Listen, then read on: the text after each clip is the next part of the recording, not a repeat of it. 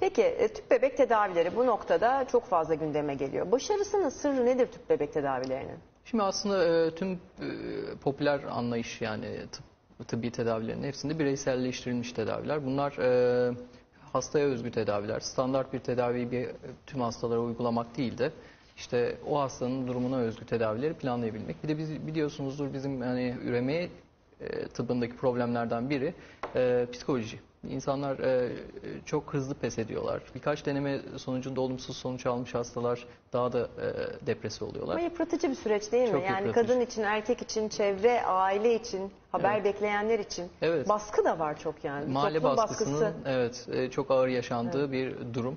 E, sosyal medyada da isyan eden insanları, ünlüleri de görüyoruz Evet, bazen Doğru. e, bu konuda. E, bununla baş etmek için işte profesyonel yardım almak gerekiyor, şart. E, onun dışında tabii ki e, laboratuvar ortamı bizim tüp bebek tedavilerinde en önemli şeylerden biri. Son Başarının sırlarından biri. Tabii son teknolojiyi kullanmak lazım. Ee, Bununla e, ufak tefek de olsa başarı oranını artıran bir sürü e, manipülasyon yapabiliyoruz. Son teknolojiyi kullanmak e, insanların faydasına olacaktır. Bunlar önemli. Pekala e, over rezerv ne demektir? Şimdi over rezervi yumurtalıkların kapasitesi demek aslına bakarsanız. Over Ee, rezervi. Over rezervi. Bunun da e, neden önemli? Dediğim gibi yaş ilerledikçe yumurtalık rezervi fizyolojik olarak azalıyor zaten. E, 35'lerden sonra azalmaya başlıyor, 40'tan sonra dramatik düşüyor. E, Siz geç çocuk sahibi olmak istiyorsanız yumurtalık rezervinizi değerlendirmeniz gerekiyor, anlama, anlamanız gerekiyor. Biz çiftlerin özellikle korumasız ilişkiden sonra ilk bir yılda gebe kalamayan çiftlerin e, bize uğramasını istiyoruz. Ama yaş 35'in üstündeyse bu süreyi 6 ayda tutuyoruz. Bunun sebebi de işte yumurtalık rezervinin azalma riski. Bu rezerv arttırılabilir bir şey mi? Arttırılabilir bir şey değil işte. O yüzden rezerv tükenmeden bize gelirlerse sonuç almaları mu- muhtemel. Ama rezerv tamamen tükendiğinde yani yumurta kalmadığında bizim üzerine işlem yapabileceğimiz, işleyeceğimiz maalesef gebelik elde edemeyebiliyorlar.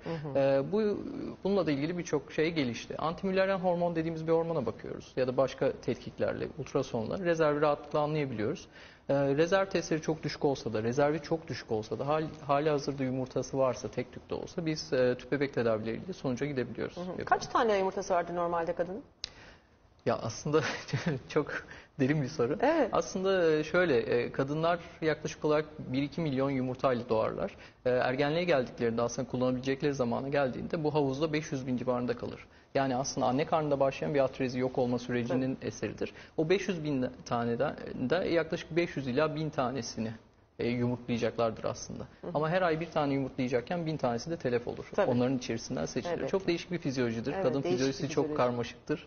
E, Erkek kadar düz değildir. Evet değil mi? Gerçekten çünkü bazen öyle bir noktaya geliyor ki hani bir yumurtan bile varsa tüp bebek için şansın var. Yani bir yumurtaya kadar düşüyor. Yani o Evet. milyonlarca yumurtadan Evet. gelinen hale bakın. Aynen öyle. Evet peki tabii bu da zamanla çok e, orantılı bir şey diyorsunuz. Evet. Peki kadınların genetik e, altyapısı diyelim e, ya da kendine sağlığına dikkat ediyor olması, çevresel faktörlere daha uyumlu yaşıyor olması yumurtalık rezervinde etkili midir? Muhakkak etkiliyor. Ee, genetik faktörler önemli. Ailesinde menop- erken menopoz öyküsü olan kadınlar özellikle uyanık olması gerekiyor. Anne teyzelerde daha erken menopoza girmişse, 40 yaş öncesi menopoz hikayesi varsa bu kadınların rezervlerini daha erken değerlendirmesinde fayda var. Evet. E, geçirilmiş bir yumurtalık cerrahisi, iki taraflı yumurtalık cerrahisi geçirmiş kadınlar, e, radyoterapi, kemoterapi gibi yumurtalıklar açısından, açısından risk altında olan kadınların daha erken değerlendirmesinde fayda var. Evet. E, bunlarda daha uyanık olmaya çalışıyoruz. Tabii. Over rezervi düşük kadınlar da gebe kalabiliyor değil mi? Tabii tabii. Yani e, çünkü şöyle mucizevi güzel bir taraf var. Yani düşünün e, kapasiteniz full. Yani milyonlarca yumurtanız var. Gebe kalamayabilirsiniz. Ama bir tane yumurtanız var ve çok fonksiyonel, güzel. Onunla da gebelik yaşayabilirsiniz. Yaşayabiliyorsunuz. Bizim tüp bebek tedavilerindeki avantajımız o tek yumurtaya e, maksimal şansı verebiliyoruz Evet. bebek açısından. Tıpkı bu polikistik over problemi olan kişilerde çok da fazla yumurta oluyor, Oluyor ama aynen aynen. e, hamile kalmakta zorlu problem çekiyorlar Evet değil mi? kesinlikle. Çünkü fonksiyonları bozuk. Yani yumurtlayamıyorlar. O atmaları gereken yumurtayı o ay atamıyorlar birçoğu. Anovülatuar dediğimiz yumurtlayamayan sikluslar geçiriyorlar. Aylar geçiriyorlar.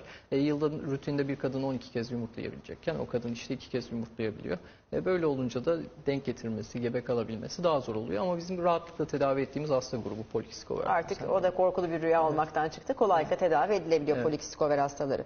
E, kemoterapi öncesi yumurta veya sperm dondurmak neden önemlidir gibi bir soru var. Şimdi e, yumurta dondurma 5-6 sene önce deneysellikten çıktı. Yani embriyoyu donduruyorduk zaten yıllardır, 20 yıldır, 25 yıldır ama e, yumurta dondurmak daha komplike bir iş. E, tam tersi düşünülse de. Yumurtayı dondurmayı başardıktan sonra artık yumurta rezervi tehlikeye giren kadınlara devletimizde bir mevzuatta değişiklikler Bir ışık. yaparak evet bir ışık oldu. Şimdi evlenmeyi düşünmüyorsunuz ya 40'lı yaşlarınıza geldiniz. AMH dediğimiz yumurtalık rezerv testiniz düşük çıktı. E, üreminizi korumak istiyorsunuz. Birkaç sene sonra belki menopoza gireceksiniz. Biz yumurtalarınızı alıp tek tek dondurup saklayabiliyoruz. Ya da bir meme kanseri tanısı aldınız. 30'lu yaşlardasınız. Meme kanserinde kullanılan kemoterapi ilaçları yumurtalık kapasitesini ciddi oranda düşürebiliyor. E, daha tedavinize başlamadan mesela ameliyatla kemoterapi arasındaki o kısa sürede biz 15-20 yumurtayı kenara koyabiliyoruz. Bunlar da bu kadınlar menopoza girerse tedavi sonrasında onlara bir çocuk ümidi oluyor. E, erkekler için, için de aynı Evet. şeyler. Testis tümörleri vesaire e, ameliyattan önce rahatlıkla spermleri alıp dondurup saklayıp üremelerini Daha sonra hamile kalabilirler Evet. ya da çocuk sahibi olabilirler. Peki